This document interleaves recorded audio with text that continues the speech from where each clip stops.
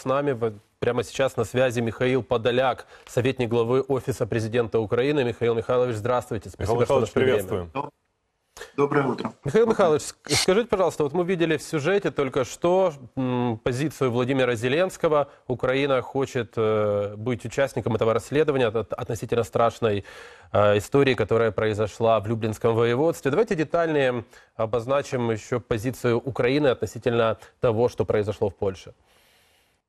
Достаточно простая позиция. Президент абсолютно прав. Он говорит не о том, а даже о технической стороне дела, да, там, э, скажем так, чья ракета, какая ракета, ведь понятно, что инициативно виновата в любом случае Российская Федерация во всем, что происходит, уже ракетный удар э, в размере 100 ракет крылатых, да, безусловно, это серьезный вызов безопасности любой страны, и, конечно, могут быть разные эксцессы, я имею в виду технической точки зрения. Президент же говорит о совершенно э, конкретной вещи, он говорит, смотрите, необходимо научиться быть правдивыми, потому что это война, и мы понимаем там разные подтексты, контексты и так далее и тому подобное, но тем не менее очень важно во время войны научиться быть правдивым. И, соответственно, если э, в данном случае идет речь о падении крылатых, э, крылатой ракеты или, э, скажем так, осколков крылатой ракеты на территорию другой страны, то, конечно, желательно, чтобы Украина участвовала в работе следственной группы для того, чтобы все факты были предоставлены и украинской стороной, как безусловной стороной, которая защищает свою территорию и может быть причастна к тому или иному инциденту на нашей территории прежде всего, ну или на, вернее, на чужой территории. И, соответственно, мы хотим, чтобы это было прозрачно. Вот вообще вот нужно просто во время войны делать все прозрачно, чтобы не было двухзначности в том или ином процессе. И президент говорит, смотрите, логично, Польша представители стран НАТО, любых стран НАТО, Украина, естественно, проводят совместные следственные действия и совместно э, вернее, озвучивают э, итоговую декларацию того, что увидели. И это будет достаточно комфортно для всех и очень важно для того, чтобы не было никаких потом сомнений с точки зрения того, что произошло, почему произошло, какие последствия, какие риски, на что это будет влиять и так далее. Потому что важен даже не сам факт инцидента, как называют его страны НАТО, наши партнеры, сколько важны последствия, в том числе информационные последствия, потому что вы э, хорошо заострили только что внимание на том, что Россия уже очень так э, интересно ведет, ну я в, э, с ироничным подтекстом да, говорю, ироничным, ведет информационную кампанию по поводу того, что, смотрите, видите, это там украинская ракета, украинская ПВО и так далее. Безусловно, может быть и украинская ПВО. Безусловно, когда к тебе э, во Львовскую область летит 20 э, крылатых ракет, то, безусловно, ты будешь применять противоракетную и противовоздушную оборону. И, безусловно, все возможно. Но, тем не менее, важно, чтобы Россия не получала даже какие-то моральные, ну, условно говоря, там, информационные поводы. А какие последствия могут быть на международном уровне в вот этого падения ракеты? То есть, опять же, мы понимаем, кто виноват, кто является первой причиной этого падения ракеты. И почему из Белого дома сразу же начали звучать заявления о том, что все-таки речь идет об украинской противоракете?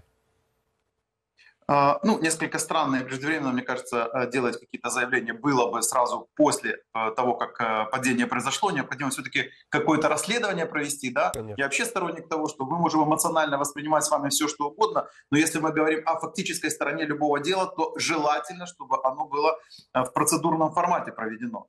Тем не менее, тем не менее, я считаю, что последствия будут достаточно позитивны, если вообще можно говорить, когда мы говорим о войне, о позитивных последствиях.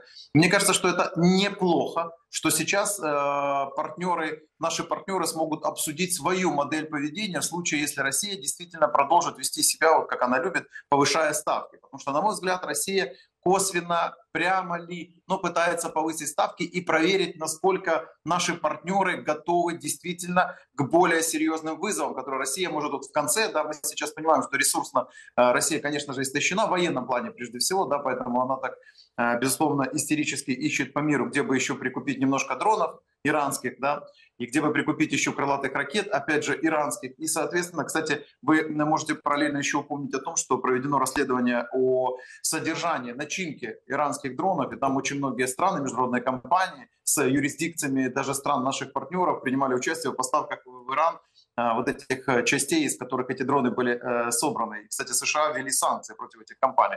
Это очень важный тоже момент. Э, которая резко ограничит, опять же, ресурсную возможность Российской Федерации. Так вот, я считаю, что это хорошая такая история, в рамках которой мы проговорим еще раз формат наших взаимоотношений с э, партнерами, чтобы не было никаких там, опять же, подчеркиваю, двухсмысленностей. Это позволит странам НАТО выработать более жесткую э, понятие, более жесткое отношение с точки зрения защиты своих территорий уже, потому что вы правильно только что опять же сказали, что это не первый случай, когда залетает ракета не только на территорию э, Украины, э, залетает ракета и на территорию Молдовы уже были случаи, и теперь на территорию Польши. И, соответственно, война в Украине, война в такой большой стране, конечно же, она так или иначе будет касаться в том числе и с такими эксцессами касаться территории других стран. Наконец, третье, Наверное, эти страны более предметно сейчас обсудят э, действительно возможность косвенного закрытия неба в Украине. Это тоже важный аспект. То есть, опять же, мы возвращаемся к теме э, систем ПРО, систем ПВО. Это очень важный аспект. Мне кажется, что э, четвертый э, последствия этого мы сможем более активно противодействовать этому примитивному российскому информационному воздействию на общественное мнение других стран. Россия же ведь пошла по простому пути, говорит, смотрите, ну это же Россия, э, э, украинская ракета, соответственно, наверное, что-то надо пересмотреть в поставках оружия. Мне кажется, более наивно инфантильного подхода к информации подобрать в России, России сложно, но тем не менее Россия сейчас опять пытается масштабировать эту тему и, соответственно, таким образом повлиять на общественное мнение других стран. И мы уже вместе с, со странными партнерами понимаем, как этому противодействовать. Ну и, наконец, э, пятый аспект, на мой взгляд, опять господин Зеленский Зеленский показывает, что такое лидерство и что такое прозрачное лидерство. Когда ты говоришь, смотрите, мы не хотим ничего скрывать, не хотим играть в какую-то кулуарщину. Пожалуйста, наши военно-воздушные силы готовы предоставить все данные, готовы предоставить все, что нужно для того, чтобы следствие было а, прозрачным, понятным и очевидным для всех. Это очень очень правильная позиция в, современном, а, в современной политике. Тем временем повторные взрывы э, в Днепре. К сожалению, часть города осталась э, без электричества. Михаил Михайлович, мы в это время хотим обсудить еще немножко другую тему. А, Владимир Зеленский вчера заявил во время общения с украинской прессой о том, что получал сигналы от западных партнеров о желании Путина по поводу прямых переговоров с Украиной. Ну и дальше вполне логичное заявление Зеленского о том, что и предложение публичного формата таких диалогов. Ведь Россия ведет войну публично. Ну, Путин, конечно же, ни на какой публичный формат не пойдет, он снова струсит, да? А, да, если коротко, вы идеально четко охарактеризовали господина Путина. Он, в принципе, вообще всегда... А, есть особенность э, президента Российской Федерации. Он не совсем четко, я так деликатно выражусь, понимает обстоятельства происходящих событий. Он э, не совсем четко умеет выстраивать логические связи в причинно-следственных отношениях.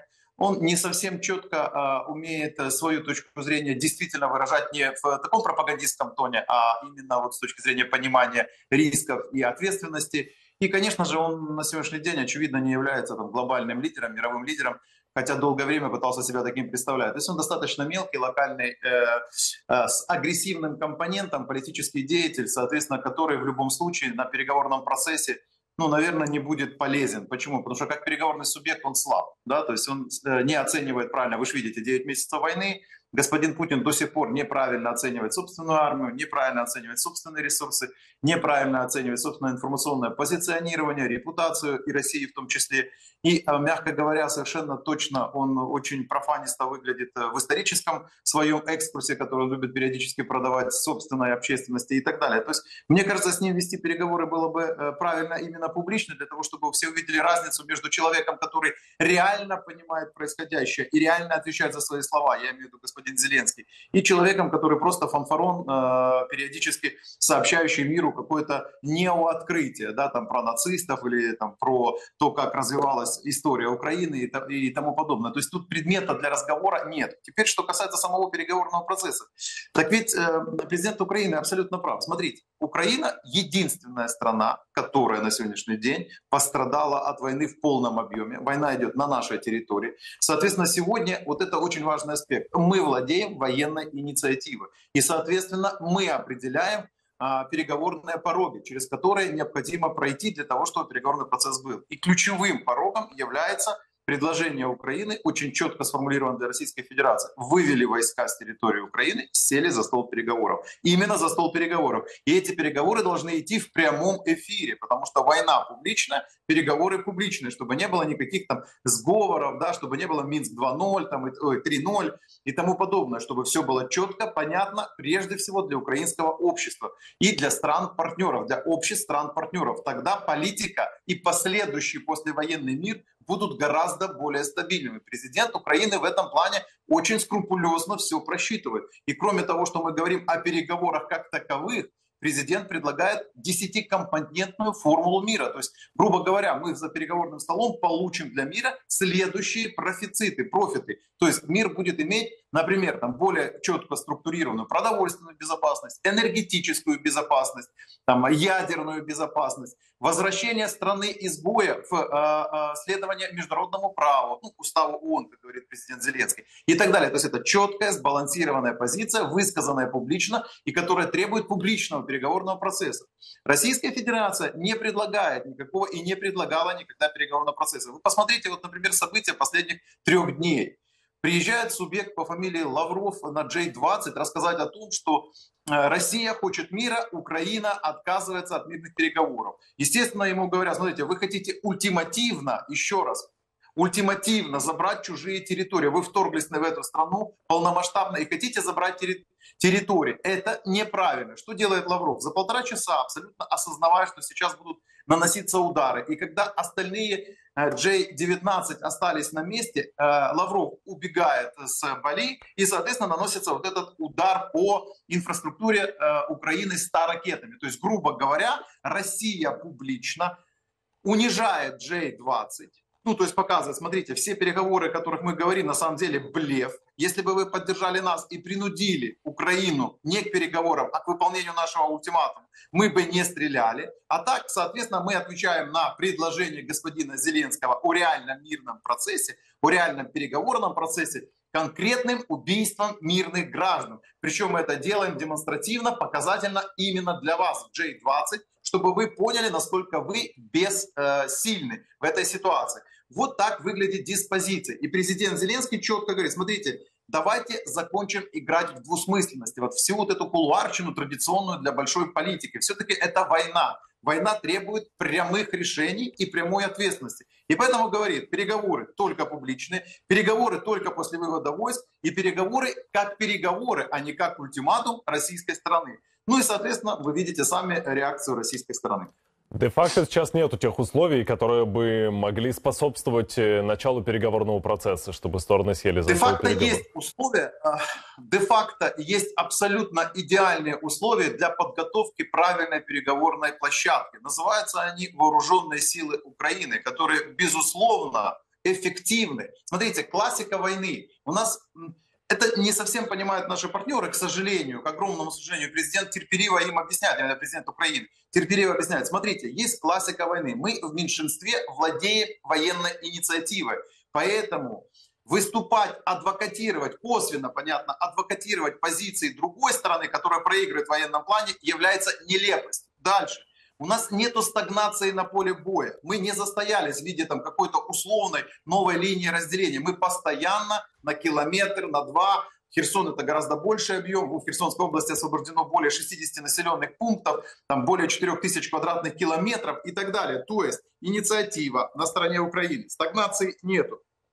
Это именно та переговорная позиция, которая формирует вооруженные силы Украины. И эта переговорная позиция достаточно внятна. И мы, честно говоря, не совсем понимаем, почему все делают вид, что э, вот, ну, есть там какие-то непонятные военные события, военного, э, скажем так, преимущества ни одной из сторон нету, так у нас, конечно же, у нас меньшинство, ну, условно говоря, у нас меньше вооруженных, э, вернее, боеприпасов тех же, у нас меньше военной техники, у нас э, меньше солдат, которые находятся ну, в вооруженных силах и так далее. Но, тем не менее, даже в этих условиях мы, ломая традиции военной науки, идем вперед и освобождаем свою территорию. Это говорит наоборот о фундаментально другом подходе к войне. Мы меньшинством креативно воюем, эффективно воюем. И казалось бы, сегодня, видя такую позицию, предпереговорную, я бы так ее назвал, которую готовят вооруженные силы, необходимо сделать несколько шагов для наших партнеров. Не говорить о чем-то, о каком-то переговорном процессе,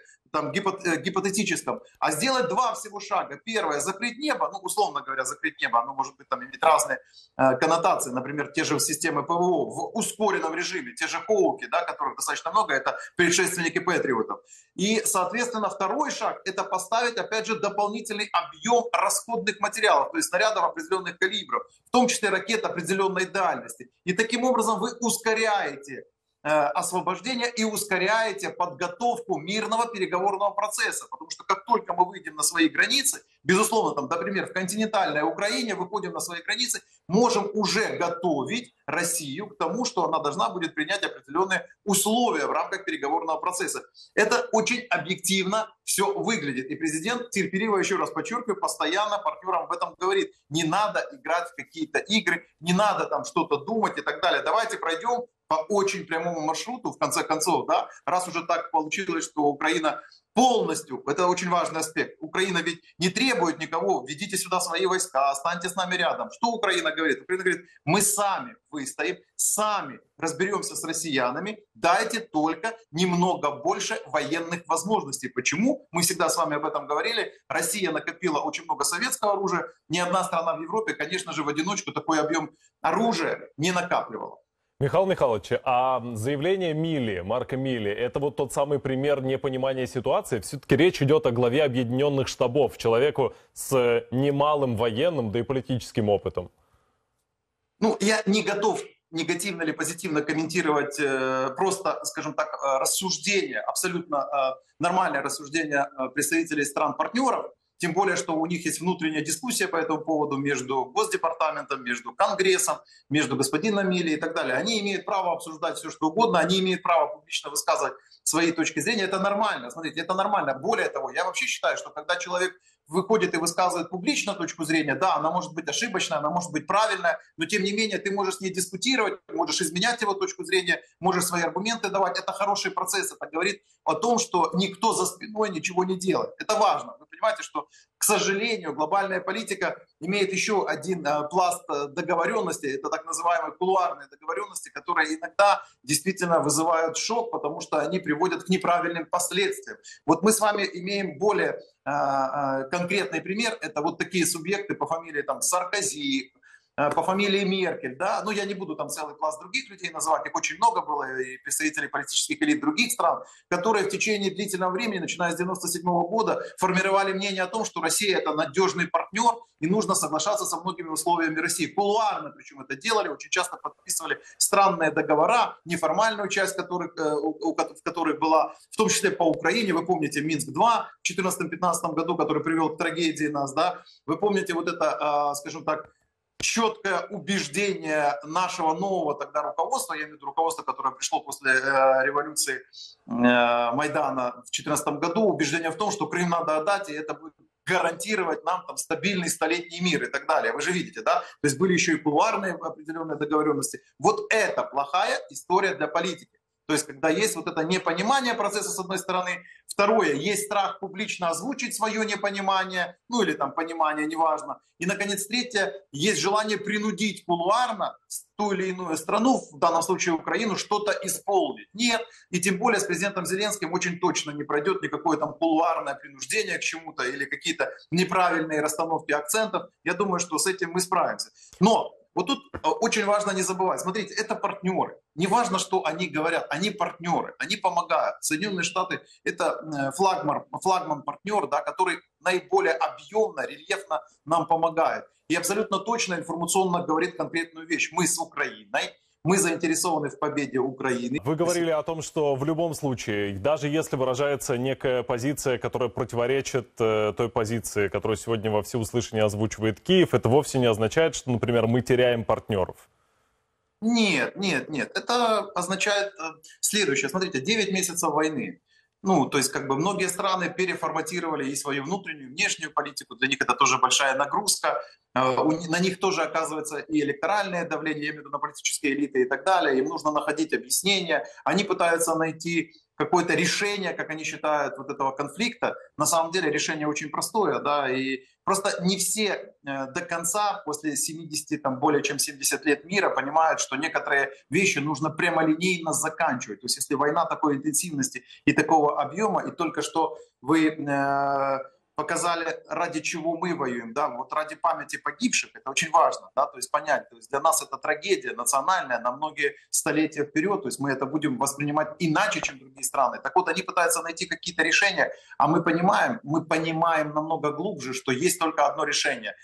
Ты побеждаешь или ты проигрываешь в такого типа конфликта, как они говорят, да, то есть такого типа войнах, потому что война ценностная, объемная, интенсивная, которая четко показывает разницу в мировоззрениях. Мы — это действительно цивилизация 21 века, Россия — это цивилизация 17 века, и, соответственно, мы, конечно, никогда с ними не договоримся, компромисса не будет. Вот просто некоторые западные партнеры думают, что можно все-таки найти компромисс в виде Минска, да, то есть, условно говоря, ну давайте для того, чтобы уже как-то снизить нагрузку на глобальную экономику, снизить нагрузку на э, европейский континент в целом, вот не читать новости о 100 крылатых ракетах, которые прилетают в энергетику, не искать дополнительные трансформаторы для Украины, давайте сделаем линию разделения. То есть, грубо говоря, есть еще такое условное э, представление, что можно отдать территорию в обмен на мир, да, ну то есть оно такое архаическое, архаичное, конечно, оно абсолютно ущербное, оно абсолютно провоцирующее агрессора на продолжение агрессии как таковой. Так вот, я на чем хотел бы заострить внимание и, и вас попросить, чтобы вы тоже больше... Нужно спокойно, информационно работать, повторять одни и те же базовые тезисы